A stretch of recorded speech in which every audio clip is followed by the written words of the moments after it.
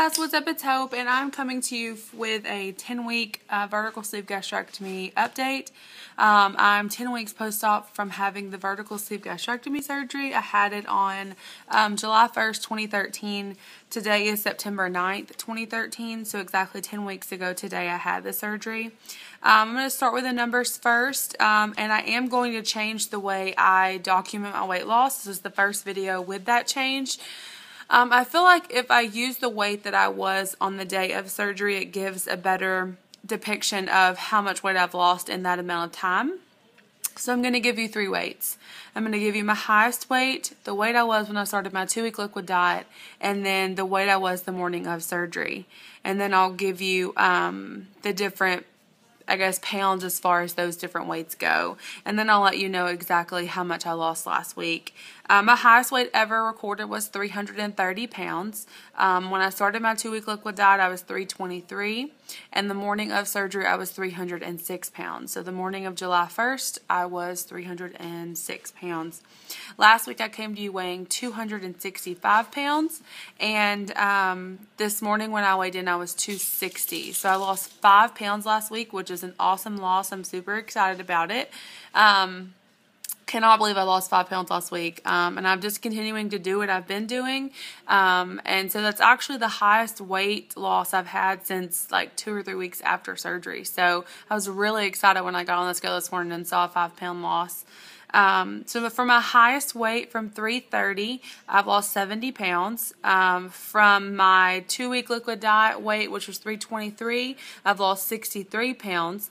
From the day of surgery, so in exactly 10 weeks, I've lost 46 pounds. So, um, that's incredible. I feel like that's amazing. Um, and with a five pound loss this past week, I'm just super excited with how the weight is coming off and how um, how this whole journey is just unfolding. It's really awesome. And just to talk about a little bit of the foods that I'm eating, uh, I'm starting to eat a lot of red lettuce wraps. I don't really eat um, any carbs at all. I don't eat bread or rice or potatoes or uh, pasta. Um, so I'm starting to use lettuce kind of as a bread. Um, like I'll do a roll up or I'll do a sandwich kind of with the lettuce leaves.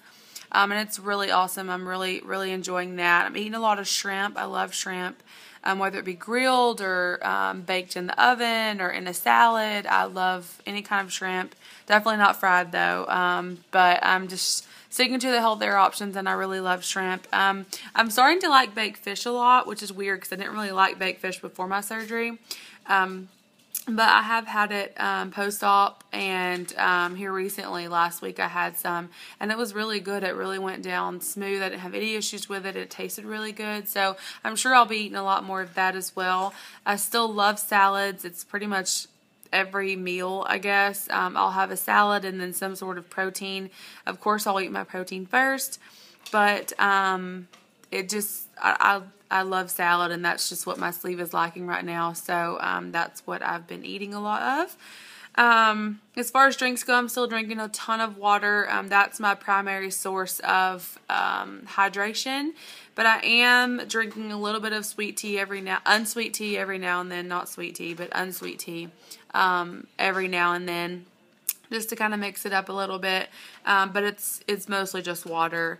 Um, when I, as far as going out to eat goes, um, I'm starting to share a lot with my husband. Um, what we'll do is either he will pick an entree that has a side salad and I'll eat the side salad and we'll share the protein, whatever it is that he might have chosen. Um, or, you know, I'll pick and then he'll share, you know, I'll get a little bit off of the plate and then he'll eat the rest of it. So it's really cool to be able just to share different um, foods with him and not have to us not have it to where we both order something. Um, so that's definitely saving us a lot of money. And um, when we go out to eat, we're able to make healthier choices. Um, as far as going out to eat goes, some of the things I eat when I do go out to eat, sometimes I will go out to eat um, during my lunch break at work. And um, so some of the things that I've done are, of course, um, a kid's meal hamburger but with no bun. Um, I've done that at Sonic. We have a Sonic around here. Um, they're actually everywhere. And um, if I go to Sonic, I love their ice water. I know it's weird, but um, I really love their ice water. And so um, I'll get a large ice water with extra ice, and then I'll get um, a junior cheeseburger and just eat the patty. And I can eat a whole patty, but I don't eat the bread or anything else. I've also had uh, tacos. Dairy Queen has um, really awesome tacos, but what I'll do is I'll empty the contents out of two of them and I'll be able to eat the meat and a little bit of the cheese and, and be done. I won't be able to eat any more than that. Um, and then of course when I go to Subway I don't get bread. I'll either get a chopped salad or I'll get a sal I'll get a sandwich in flatbread and um, I'll ask for a fork and I'll just eat the contents out of the um, out of the sandwich. I won't eat the bread. So I'm not eating bread at all, not eating pasta or potatoes or rice or anything like that like I mentioned before. I'm just really trying to make really good choices and like I've said before that this is something that I'm doing. It's not something necessarily that everyone has to do. Um, it's just the way that I'm choosing to to do this journey and to follow, you know, the strict guidelines that have that were laid out for me by my nutritionist. I'm really just trying to make healthy choices. So, um, let's see. I have my note sheet down here. That's why I'm looking down. But um, that's really most of the foods I've been eating. Um, anything grilled, um, I'm, I'm having a good time. I'm not really having a difficult time with anything um, as far as foods go. I'm just being really picky um, with my choices, which I feel like is a good thing. Um, as far as vitamins go, I actually am having some issues with vitamins right now. Um, and so um, about a week ago, I think, um, I got the new Bariatric Advantage vitamin with iron, and then I started having issues in the restroom department. And so um, it got to the point where it was really painful to go to the restroom. And so I talked to my nurse and my surgeon, and they have said not to take that vitamin anymore. Um, they actually just recommended doing a one a day just over the counter. Um, hold on just one second and I'll go grab it. Um, I was going to do this earlier and I forgot. But, um, and so let me show you. I'm just going to be taking this one now. Um, it's just an over-the-counter one a day, and she said that was fine, but I'd have to take a B complex with it. So that's added more pills to my day. Um, and then, of course, I'm still taking the Nexium. Um, I actually was out of the Nexium, and I regretted being out of it because I had the worst heartburn ever today. Um, and so I definitely require um, taking the Nexium. I am going to ask my surgeon if there's any any way I can take a different kind of, um, I guess it's a, I don't really know, to prevent the heartburn because I picked it up from the pharmacy today. It is $75. Like, I had no idea. And that's with insurance and a coupon. So, I'm going to see if there's something else I can take over the counter. I know a lot of you out there take don't take Nexium, you take something else. Um, that's just not going to work for me. That I feel like that's really crazy, ridiculous. But so now instead of taking the bariatric advantage, um, let me show you. Instead of taking this one with iron, I'm now taking the one a day and the B complex. And um, I'm actually still taking the fiber gummies because I'm just really hoping it it, help, it helps with keeping me regular. Um, this whole vitamin with iron thing has really messed my system up. I'm having a really hard time um, going to the restroom and it not being painful. I'm just trying to get all of that out of my system. So I'm still taking the fiber gummies to kind of help with all of that. Um, and then I still do take a uh, sublingual B12 in the evenings. Um, that's pretty much what I'm taking as far as vitamins go. Um, th so those are the issues I'm having. There was a change in my, I guess, my vitamin regimen. And so um, that's one thing that week 10 brought was a change in that.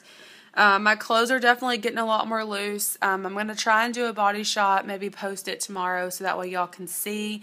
I haven't done a body shot since the day before my surgery, so it would be really cool for y'all to see the difference in my body. I know a lot of people can tell in my face, and my chin, um, but it would be really cool I could do a body shot to kind of document that, what I look like at week 10. So I'm going to try and do that tomorrow. Um, definitely having more energy. Um, I'm doing really great. I'm not having any issues. No pain in my stomach. Um, no pain anywhere really. um, I'm starting to exercise a lot more as far as biking and running and walking around our neighborhood. My husband is actually doing all of those things with me, which is really awesome. Um, I love riding my bike. We've had so much fun. That's why I kind of look like a hot mess right now because we rode our bikes tonight and it was so much fun and um, we have a really good time doing it. So um, it's definitely a good workout for sure. We have not been to the gym yet, or I haven't at least.